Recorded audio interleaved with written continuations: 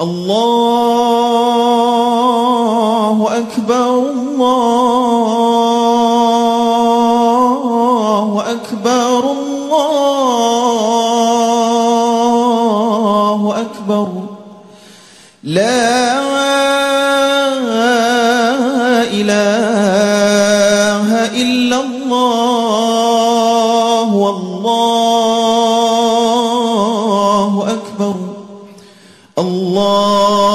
الله أكبر ولله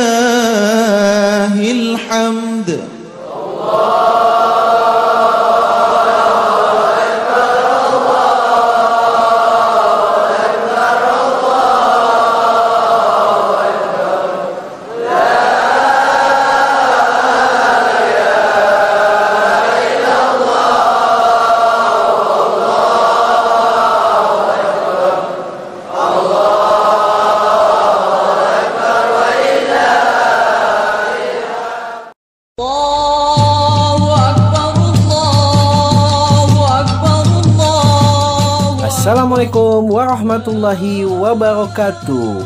Alhamdulillah puji syukur kita panjatkan kehadirat Allah subhanahu wa ta'ala.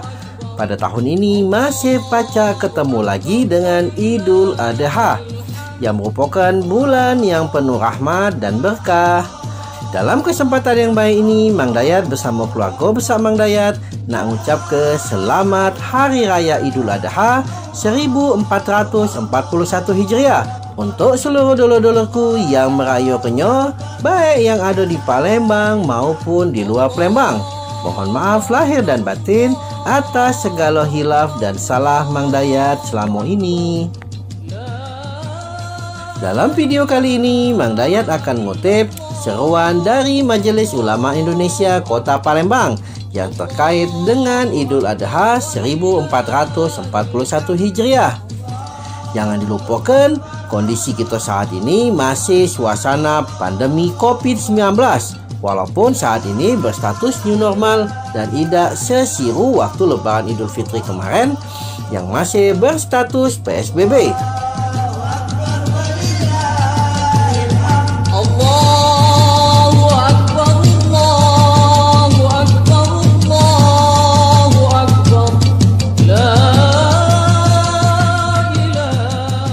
Mang Dayat kutip dari pemberitaan Sonora ID bahwa diperbolehkannya seluruh masjid, musola, bahkan lapangan untuk melaksanakan sholat id idul adha.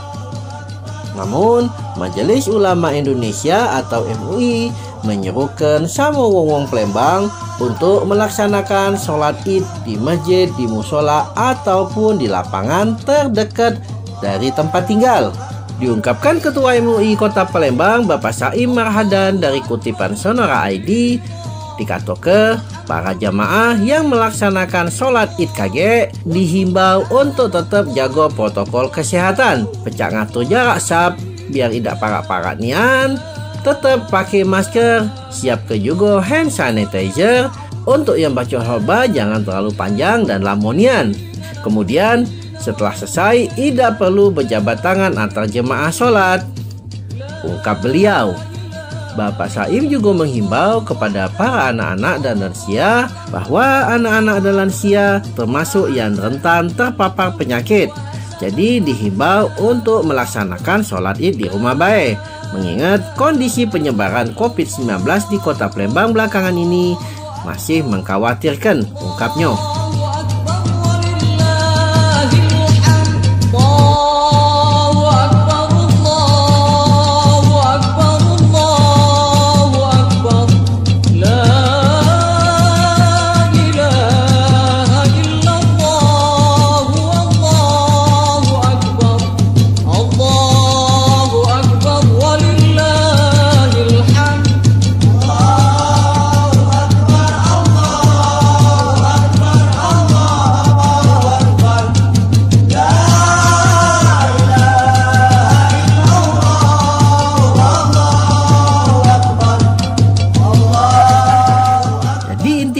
Intinya jadi nian ya kita lebaran.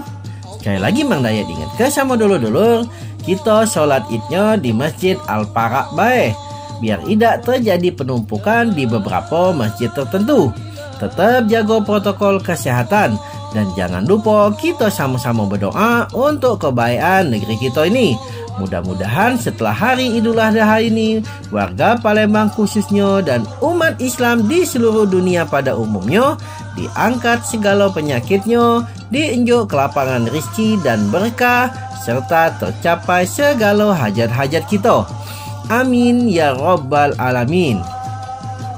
Demikian video Mang Dayat. Terima kasih sudah mampir di channel Mang Dayat. Jangan lupa tonton juga video-video Mang Dayat lainnya untuk menambah kasana pengetahuan kita tentang kota Palembang tercinta kita ini. Kalau ada yang kurang berkenan baik dari narasi ataupun video, Mang Dayat mohon maaf. Kepada Allah Mang Dayat mohon ampun. Wassalamualaikum warahmatullahi wabarakatuh.